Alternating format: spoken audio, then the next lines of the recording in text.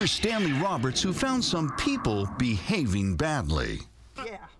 We're fighting this. We're going to City Hall for this. Sometimes people behaving badly segments write themselves. The driver of this Prius was clocked at 47 miles per hour in a 30 mile per hour zone. Hi, ma'am. Do you have your driver's license, I certainly registration? do. I wasn't speeding.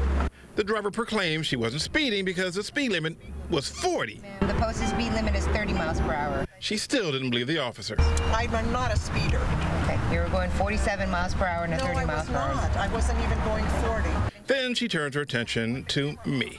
It's hard to hear, but she asserts her right as an American citizen not to be filmed. Registration and proof of insurance, please. Can you turn the camera off for me?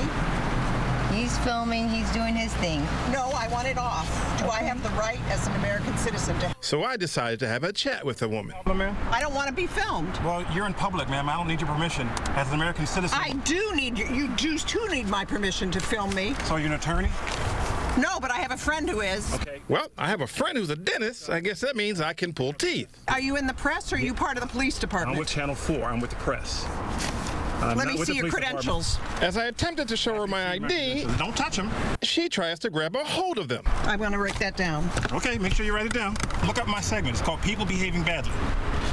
Really? Yes, ma'am. Now, normally we didn't hear, but this isn't a normal story.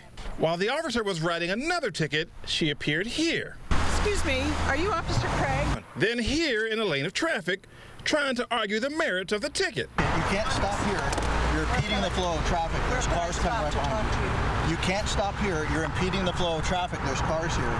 If you want to discuss anything, you need to pull off the road. So she does. But I wasn't speeding. Okay, So- can I see your ticket?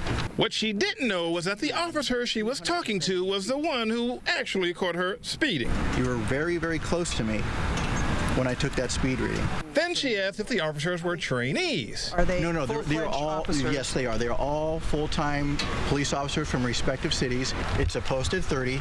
It's right in front of the firehouse. There's a big posted 30 sign. And after all that explaining, she still was not convinced. Because I, I, I think it's a 40. I don't think that's true. Okay. In Daly City, Stanley Roberts, And thank you for doing reality television. KRON 4 News.